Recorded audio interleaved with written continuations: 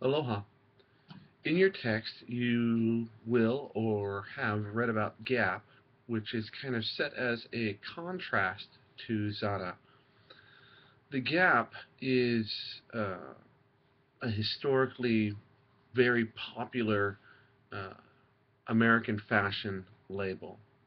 And during the 1990s, the Gap did very well as a company it kind of rode the wave and helped define the look of business casual with button-down shirts and khaki pants, which, interestingly, is uh, really an outgrowth of the aloha business casual aloha wear uh, fashion trend that started in Hawaii, then went to the, the West Coast and gradually throughout the rest of, of the United States.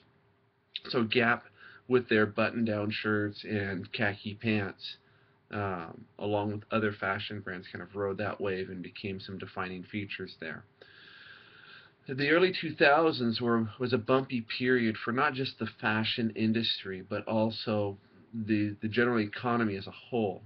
There was a lot of anxiety following the dot-com bubble crash, um, the uh, 2001 terrorist attacks in the United States, and there's just uncertainty in the economy. Sales were declining, and uh, Gap CEO Drexler tried some moves to kind of try to jumpstart Gap's uh, sales revenue again. One of his most uh, well-known activities was to try to go after a younger market. Right, so we we had this business market uh, of business professionals, business casual, and that market is kind of aging, and other competitive markets are coming in looking for um, trying to attack that group, and so Drexler's trying to grow into another market, which is the teenage brand.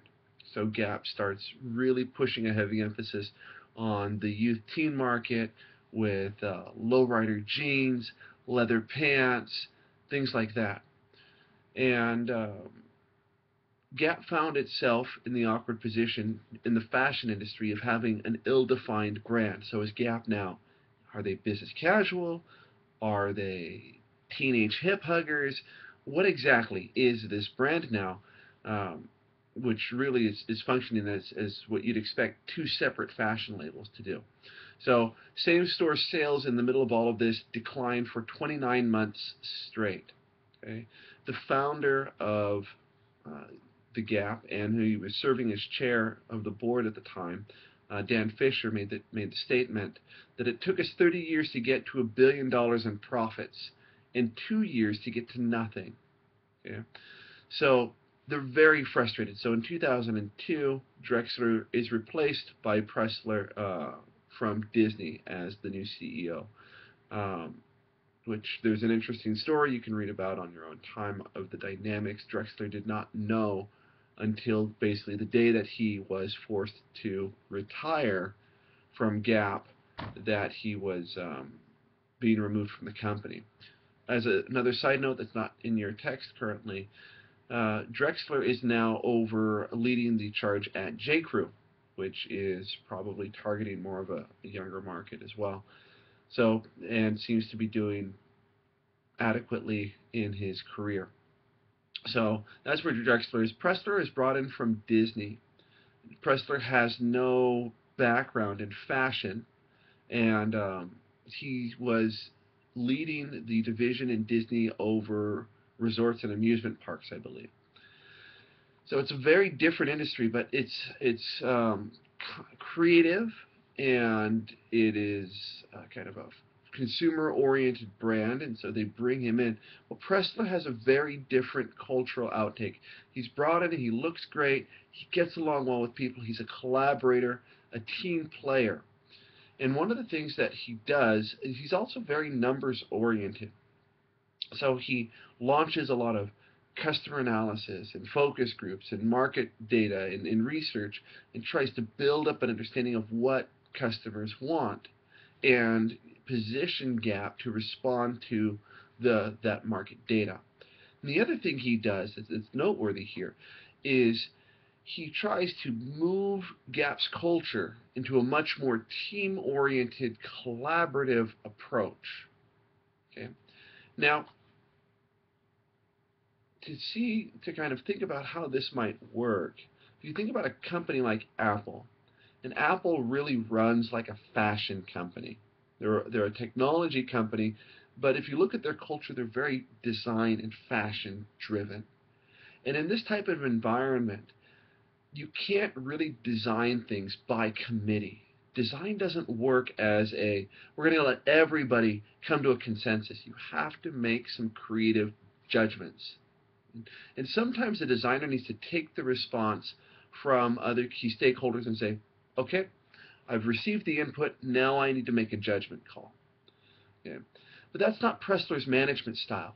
Pressler coming from Disney is all about he, he's creating all of these training meetings and pamphlets and posters around the company and it's all about teamwork and collaboration and he's supposed to be really good at analyzing data but once again one of the problems in fashion is customers don't always understand what they need or what they want or what's going to work right and even in kind of the technology area you look at things like web design eh, or software design. And sometimes you have cases where someone will design something and then the client will take your new website prototype, kind of the, the early draft version of your website, and show it to their secretary. And they'll come back to the web designer and say, my secretary didn't like the website. Thinks the colors are wrong. Does your secretary have a degree in design, in art, in graphics? No, but that was her input. And so art, design, fashion requires kind of demands the need for an expert to make an opinion. And there's going to be conflicts, and designers by nature will push the boundaries of what's acceptable. Okay, and uh, Pressler really doesn't like to have the conflict, so the designers come in, and then the merchants say, no, the, the, these fashion trends are too too ahead of their time. They're not going to work, and so someone's got to make a judgment call to keep both parties in balance. And Drexler, being the team player, was not quite suited for that task, apparently. And so um, Drexler, uh, Pressler cuts costs, shuts down a lot of stores, tries to keep things going, build up the company, pivoted on market analysis, um, and he's also doing things like he's outsourcing uh, more and more to, say, uh, East Asian countries. And he, he does things in the name of optimizing supply chains, which according to the textbook should work, right? So we're going to take all these different brands within the Gap family and we're going to consolidate purchasing. Does that make sense? Because then we can get better economies of scale and so forth. A challenge here is now we've got all, you know, we're bulk buying denim, right? Used for making blue jeans. But the type of denim needed by Gap is not not the same type of denim needed by Banana Republic and so the designers are now being forced to work with common materials across multiple brands, and it's just not working out well. Okay, so long story short, uh, the losses continue, and Gap's agility, his agility and ability to respond to market uh, behavior and what consumers are actually buying declines, and so in 2007, Pressler resigns. Okay. Uh, the Mr. Fisher, the chairman of the board, has to step in and serve as interim CEO while they're looking for another CEO. The um, current CEO uh, that they found, I think later in 2007, was a man named Glenn Murphy. They brought him in from the, um, he was overseeing retail, very strong in retail experience, but in supermarkets and in, and in books and, and drugstores and such. But he's been in there since 2007, so he's got about a seven-year tenure and uh, Gap seems to be uh, moving up again. How much of this is related to market recovery and how much of this is related to Gap would require further analysis of both of those issues. But in your textbook, the idea is Gap, by trying to play by all of the textbook rules in the fashion industry, was not able to overcome this decline in sales and shifting nature. And it, it will give Zara the opportunity to use their fast fashion model and their approach to optimizing their supply chain to really step ahead in the fashion industry.